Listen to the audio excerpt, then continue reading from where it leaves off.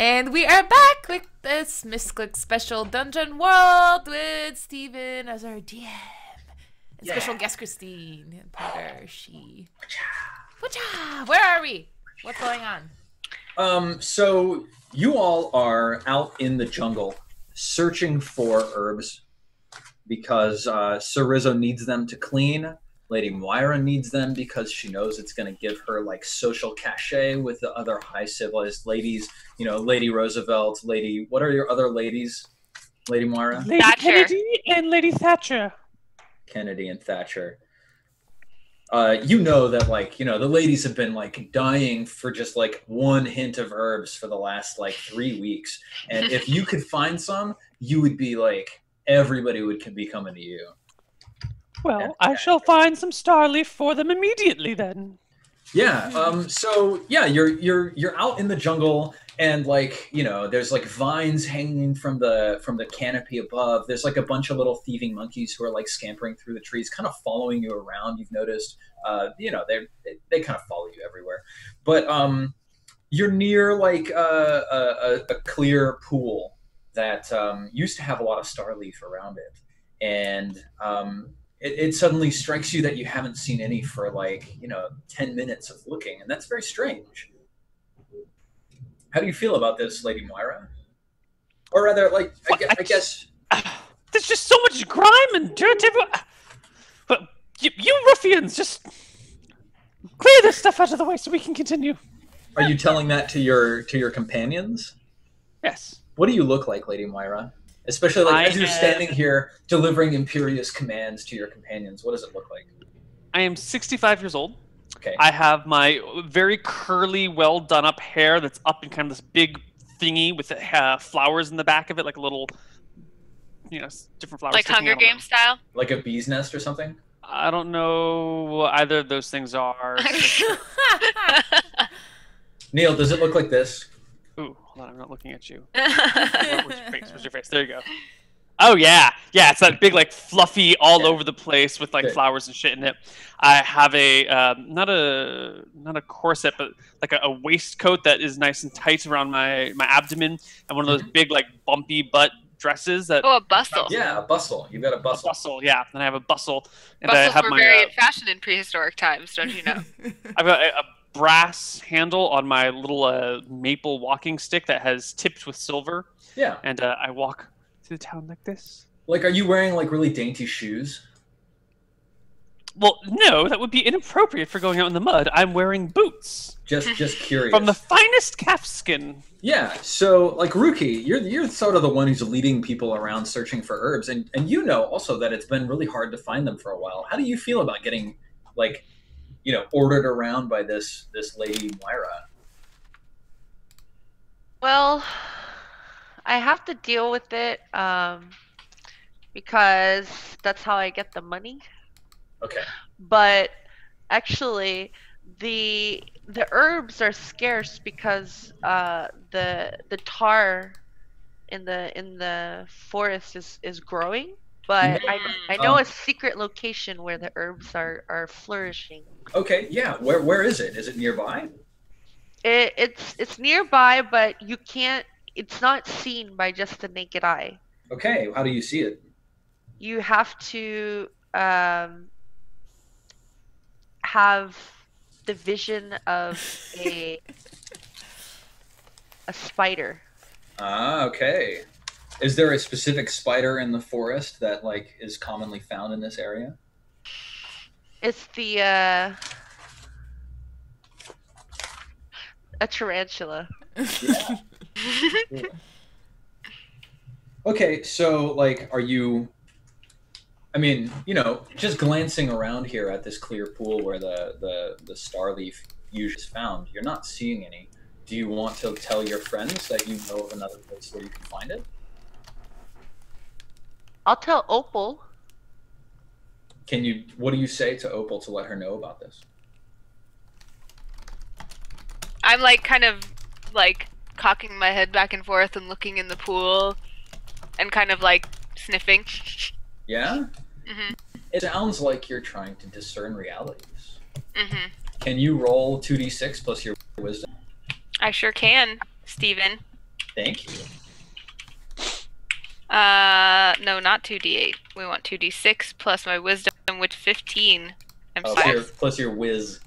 My whiz. So that'd be a plus one. So that'd be an eight. Oops. Okay, so here on the basic moves sheet that I just popped up in Roll20 for you, you can see on on discern realities when you closely study a situation or a person. Definitely studying a situation, you roll plus wisdom. On a seven to nine, so you got an eight. Ask one of those following questions. Um.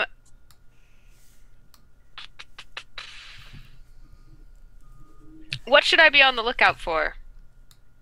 Okay, um, you you're like sniffing around. Uh, so interestingly, um, part of the way Dungeon World works is that I don't know everything about the world. You guys might know more about some parts of the world than I will, and your one of your ways of saying, "Hey, Stephen, I know something about this," is either spouting lore or discerning realities. Like if you think there should be a trap here, you can discern realities and kind of like make there be one. Mhm. But anyway, um, you're you're asking, uh, what should I be on the lookout for?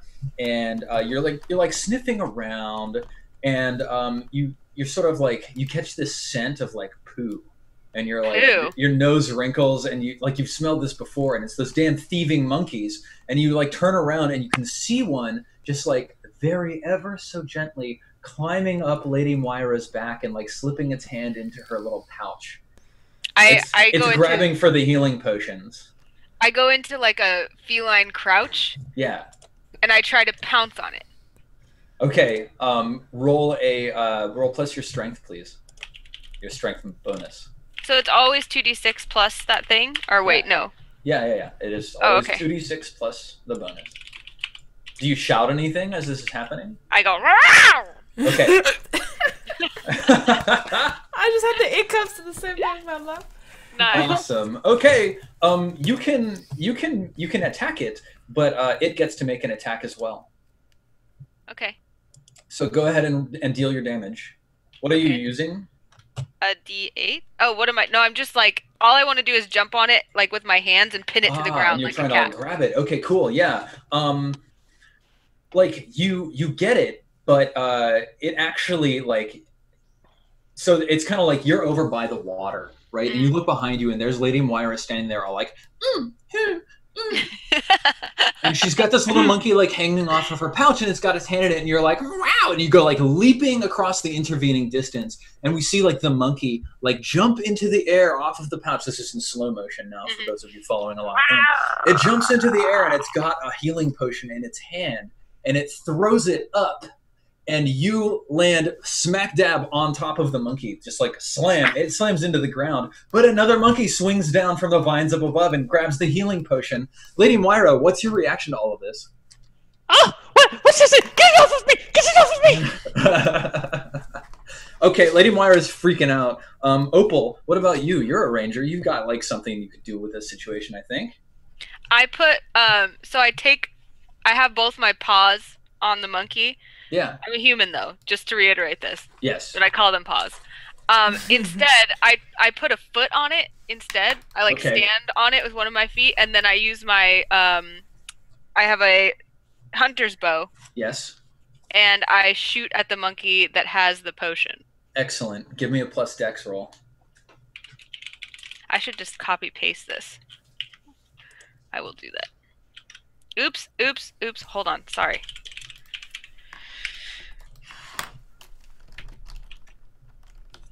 You can just do uh arrow up, Anna. Arrow up, and then it will. yeah Oh, really? Yeah. Oh, I didn't know that.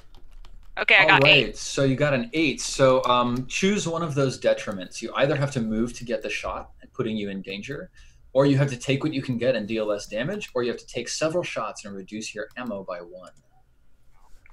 I think I. I want to keep the monkey pinned under my foot so I don't Mhm. move. So I just take what I can get and do minus one d damage. six damage. Okay, so roll one d six, or wait, it's one d eight minus one d six. Do I do that? Yeah. Yeah. Okay. So you deal one damage. So fortunately for you, like these monkeys are super weak. Like your Mhm. arrow just goes straight through its eye socket and pluck, and uh, it just starts falling. But there's actually a rock right beneath where it's falling to. So, um, Ruki, can you catch this this healing potion in time? I can.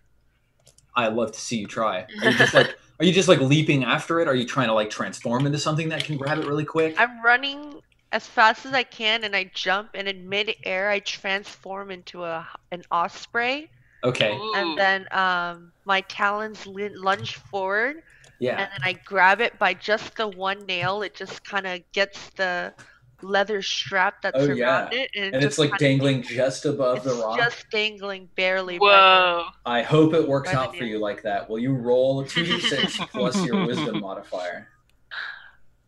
So I do two d six plus mm, You do slash R space two D six plus Plus two. Yeah.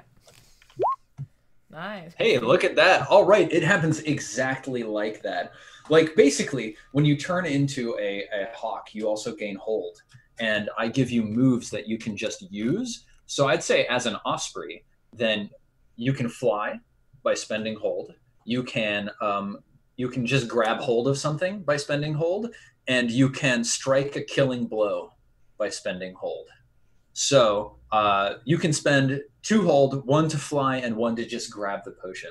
Sound okay to you? Okay, you have one hold left, and you're still a hawk. So, um, yeah, all of the monkeys they kind of freak out. Um, Rizzo, what are you doing while all of this is going on?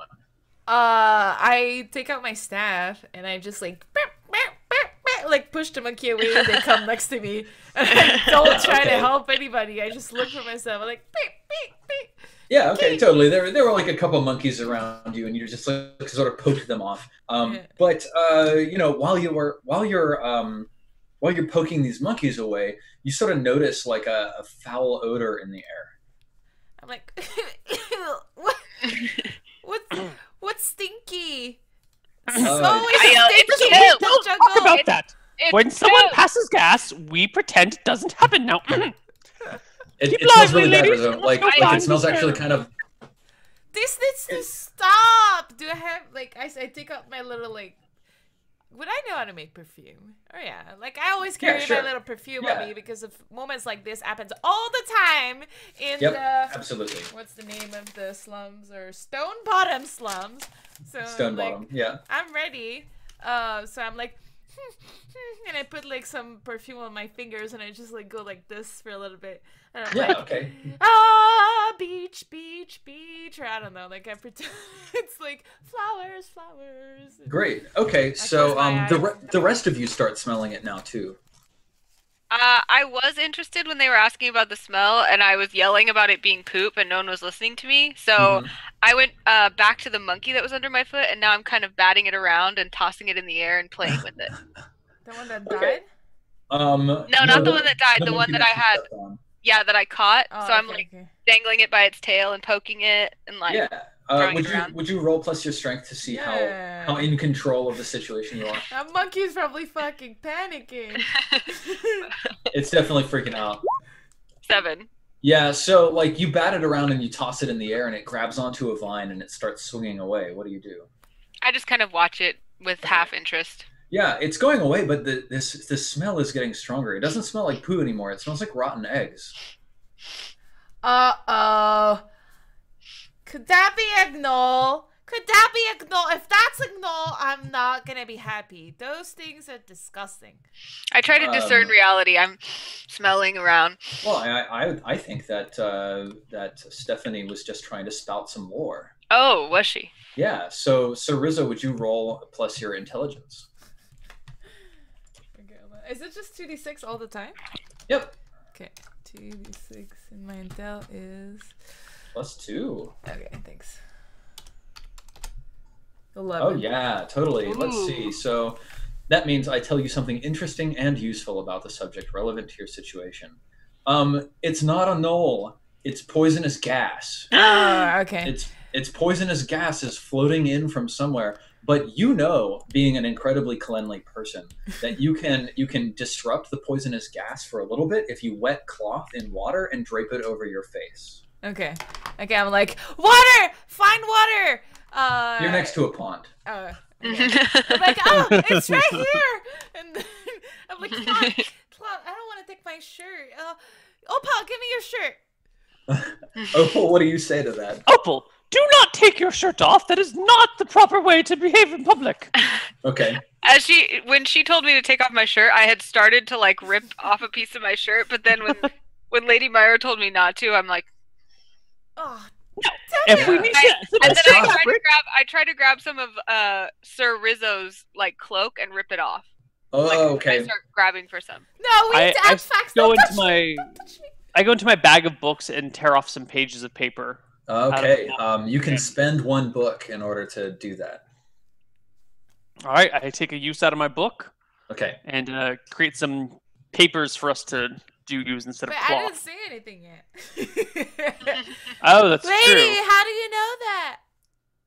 I'm But just Did hey, you if you them? need cloth, I have papers instead. All right, we need to cover our faces. This is the gas. This is the gas. Oh, Yeah. And she's she's in an ox, so she can't tell us, right? She can she talk to us when she's in? Uh, she can probably talk Oh, in some kind of screechy hawk voice. Okay.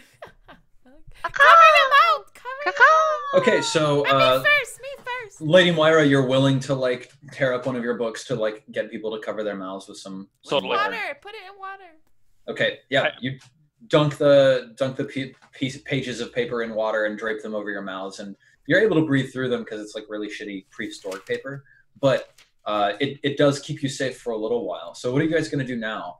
Um, Lady uh, a rookie, I think you mentioned you wanted to like try and go find some some Starleaf in another location, right? yes. So now I try to lead everyone away from the tars, Yeah, the, the pits, because I know that the, the Starleaf is in the secret location. yeah, Um, then I call, I do my secret. I'm still in my Osprey mode because I'm Yeah. trying to fly around to find um, my spider friend who can, who's the only one that can see. I'm assuming that you're flying above this poisonous gas. I am. Okay. The cloud is below me. I'm not Mhm. having to use the papers to cover up my nose. Yep. But how I communicate to the rest of the group is by like telepathically. So I can't actually talk to them, but they can hear me. Okay. Cool. So I'm telling them to follow me. Then I call out to my spider friend. Mm-hmm. Um, and he's the only one that can see the entrance to where the the star leaves are. Yeah. Okay. So, um, like you guys are, are following um, Ruki through the the woods, and um, Ruki, as you're flying up above, like you can see this this poison gas just like spreading through the trees, like billowing around tree trunks. It's almost like chasing our our, our poor adventurers here. Um, and of Oh, course, your papers your papers are starting to get incredibly soggy and fall apart in your hands. Like you're you're running through like a little gully right now, and there's like smoke like pouring in from all sides and there's like tangled roots that are like threatening to catch you on your you know your like your clothes and stuff um, in fact um, lady uh, lady moira the your bustle is so large that it's actually quite difficult to get through here. Can you like defy some danger somehow to, to get out of this? All right, I can defy some danger somehow. Um, what are you doing to avoid the threat from these roots holding you in place? Are you like just pulling through? Or are you trying to dodge them? I, I am going to try and convince my compatriots that they need to assist me and help pull me through this situation. Like they they have to go and move the roots for me, or like help me. yeah Whatever. I'm going to okay. try and use my charisma to talk my companions into. Yeah, yeah, yeah. So you like notice and you're like, get those roots out of my way or whatever. Right. All right, go ahead. Go ahead and roll uh, roll two d six plus your charisma. That would be one. Nine. Okay. Mm, yeah. Um, they kind of look back at you, and and and like they see this gas billowing right behind you. Um, I think that you're going to be able to keep your hair. but You're not going to be able to keep your bustle. Hmm. Or you can keep your bustle but not your hair. Like they, they can I take care must of remain clothed. I could not take my dress off. It would be wildly improper. and the bustle goes under your dress. This this kind of fits with me Oh, uh, teaching Lady Myra about the wild because Yeah? she doesn't Are you the one who's like, okay, we can't do both of this. We have to. Yeah, because she doesn't understand the life in the wild, and I kind of care about her because she taught me, you know, how to survive in the city. So I Mhm. just kind of go behind her and say, like, you need this ridiculous parcel taken off your butt. And I tried- I refer start to trying that to take as the off. hiney or the rear end. I started trying to take it off, like, "Meow." what do you, What do you think about this, Lady Moira? I s- If that is how we must proceed, then so be it. And I try and take the. It's like a cage underneath the skirt, Yep, right? yep. You guys get it unfastened fairly quickly now. Um, Ruki, you see like plants and bushes moving around like the edges of this gully that your your friends are all down inside of, as an osprey. What do you do? I'm trying to get them. I'm trying to lead them into the clear path where I see some area where the the poison gas is kind of. There's a small area where it hasn't reached, and I see the fresh air bubble that is is available to us in the pits. Mhm. So I kind of span my wings like this to push the fresh air bubble down for them to help them out. Okay, so you're trying to like push back the the poison gas, basically. Ex- exactly, exactly. So I'm trying to span my wings as fast as I can hmm um, to try to get them some fresh air and Okay, cool. Um, roll a. Um, wow, let me think. That feels like defy danger to me, but which one would it be? It's kind of defending, too, right? No, defending is more like physical combat. This is like there's a threat that's encroaching and she's I see. defying it. Um, I feel like that's using quick thinking. Like that's pretty smart. So roll plus your intelligence to to defy defy that danger. Nine. Plus zero, Mm. nine. That's not bad at all. Okay, that actually works out perfectly. So, um, you're about to fly down and push back this poison gas, uh, Ruki, and you see creeping through the underbrush these bushes that are moving. You see a group of gnolls who are converging on your ally's position. You can either go down and swoop down and push back the poison gas, or you can warn your friends and maybe get an attack off on one of the gnolls. And remember that one of your moves as an osprey is to strike a killing blow. I will swoop down and warn, or, or I'll swoop down and uh, give them fresh air, and I'll Okay. use my killing blow for the gnolls. Okay, cool. So you swoop down and you start pumping your wings to like push back the poison gas. So the poison gas pushes back. The uh, lady, Lady Moira, and Opal get uh, get the bustle off. Um, but uh, Sir Rizzo, you like you see like four gnolls come leaping over the edge of this this pit that you guys are down in this this crevice, and they come crashing through the roots, and they're all like making gnoll sounds, and uh, they've got like wicked wicked clubs with like spikes on them and they've got like war paint on and they look ferocious. Rizzo one of them comes running at you and it swings its heavy uh its heavy mace straight for your head. What do you do? Uh, I. Uh. I can defend, right?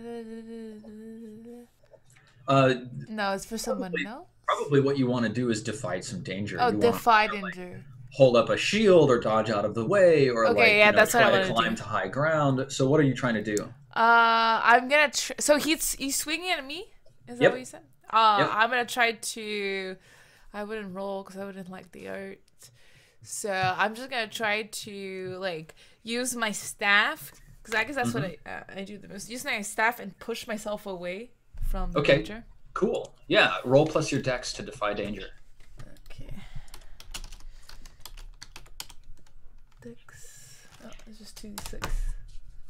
Oh, nice. Okay, so this gnoll comes and brings his huge mace like crashing down through the space where you just were, and it slams its mace into the ground, and you are completely fine. Um, And then I yell. I'm like, Gnolls! I knew it! I knew yeah, it! yeah. Yeah. What do the rest of you do? React to that? Help! Uh, I cast magic missile. Okay, so you just like point at the first gnoll you see and blam. Yes, I point Okay. at the first gnoll I see and civilization come to thee, Excellent. and shoot my two d six plus two. yeah, plus your int. I, Oh. No. Okay. Um, Oh, Yeah, so you um your magic missile goes off and it strikes one of these gnolls. So roll roll the damage for that. Is it 2d4? Yes. Yeah. Five. Okay, 5 damage. So uh this this same gnoll that attacked um that attacked Sir Rizzo, you nail it for five damage, and and it, it just gets blasted back off of its feet, and its chest is like a smoldering ruin. But it stands back up, and you can hear it like breathing raggedly through like a hole in its lung. Um, but it like turns to glare at you, and two gnolls jump down right like next to you, um, and one of them swings with its own mace, Oh no. and uh, Moira oh, doesn't have any armor. Yeah, yeah, yeah. Okay, so um, and it catches you upside the head, dealing you two damage. So it's kind of a glancing blow because you were like in the middle of casting your spell, but you get knocked just a little bit. Um, Opal, what are you doing in response to all of this? There's like four gnolls, two in the front, two by Lady Moira, and yourself. Um, what do you do? Uh, as soon as I see, like, I can identify that there are gnolls, I immediately attack. And I extend my claws, by which I mean, in cat language, that I pull out my short sword and go to work. Okay, cool. Yeah, go ahead. Um, are you attacking the one that's right next to Lady Moira? Yes. Okay, go ahead and make, give me a hack and slash roll plus your strength. Seven. Seven. Uh, okay, so that means that you you hit, but you also open yourself to an attack. So um, deal your damage. Do-do-do. Six. So you stab this gnoll pretty good, uh, the one that's that's attacking Lady Moira, and it actually like crumples to its knee, but it twists just a little bit as it falls, and it wrenches your sword just a little bit. You're trying to hang on to it, but the second gnoll steps around Lady Moira and brings its mace like down on your shoulder. It hits you for two damage. You know, not I a big not deal, like really. Um, also, remember to reduce the damage you took by the amount of armor you have. Which I never figured out. You have one Just one. Yeah. Okay. as a ranger. Okay, so I took two, so I took one. Yes. Okay. Okay. Um. Yeah, Ruki, you have uh, you've you've beaten back the poison gas far enough for now. What are you going to do about these gnolls? There's three of them still alive. One of them just got stabbed to death next to Lady Moira. It's bleeding out into the the soil of the jungle. I will. Do I still have the health potion, or do I still yeah, you were that? still carrying it. I'm still carrying it, but only on my right claw. Yes. So I have my left claw available. Yeah. I'm gonna try to swoop in and grab one with the remaining claw Uh huh. and try to uh, use my momentum to to push it into the tar so he gets so we can slow him down even more. Now you know you're not actually around the tar pits. That's what's so strange about this. There's this poison gas, but the tar pits are actually quite a ways away from here. Um, Hmm. but as an osprey, if you want to use your last hold, you could just grab him by the throat and then like peck out his throat with your with your beak and just straight up kill him. Do that. Okay. now that would turn you back into a human Oh. because when you spend to the last of your hold, you revert to human form.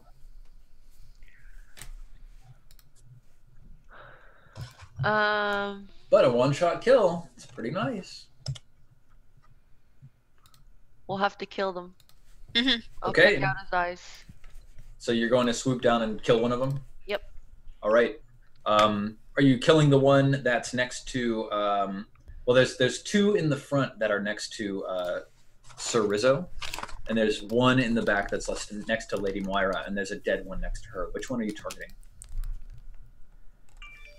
The one next to Lady Moira. Okay, yeah, you just like There's flash just one down. left by Moira, right? Yes. Okay. You just flash down and just like eviscerate this gnoll's throat with your claws and your beaks. Just clap, and just like blood sprays out all over the place. The gnoll gives a terrifying screech, and it just dies as you descend on it. And like at, in the same one fell swoop, you turn back into normal-looking Rizzo. What do you look like, by the way, Rizzo? Uh, rookie. Or Yeah, Rookie. sorry, Rookie. What do you look Rookie. like, Oh, Rookie? I'm. You turn uh, back into a normal looking Rookie, not a normal looking. Yeah. I was like, That yeah, would be what do you look like? And it's my name.